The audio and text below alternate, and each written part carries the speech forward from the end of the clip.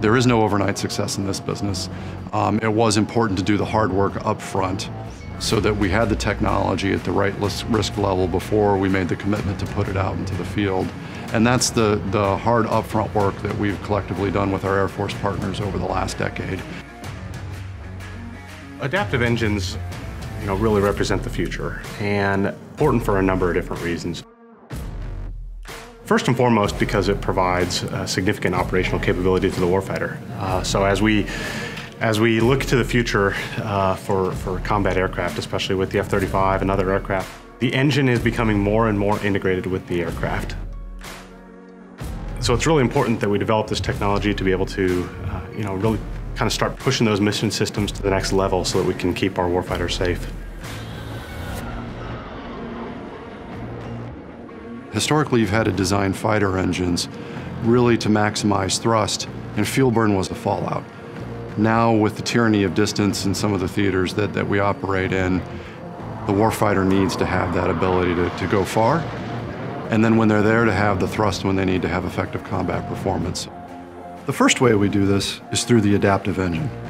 The second is the third stream. All of these new aircraft utilize a lot of mission systems that provide amazing capability to the warfighter. However, they also generate unprecedented amounts of heat that require an improved thermal management system. Our third stream allows the airframer to put more and more of these mission systems and capabilities onto their platforms.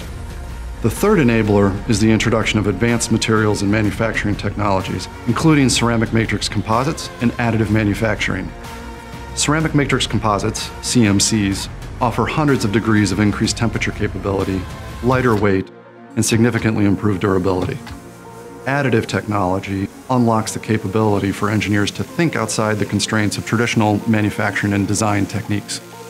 The adaptive engine, the third stream, and the advanced materials and components all coming together in a single package enable a single engine to be 25% more fuel efficient, provide 10 to 20% more thrust, and over two times the thermal management capacity of conventional architectures.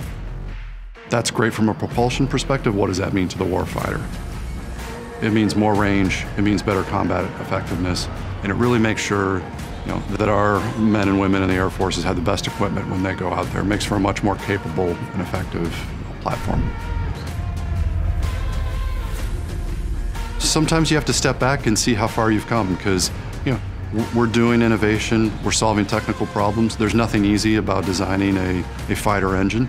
There's nothing easy about designing a fighter engine with an architecture and a technology set that's never been done before.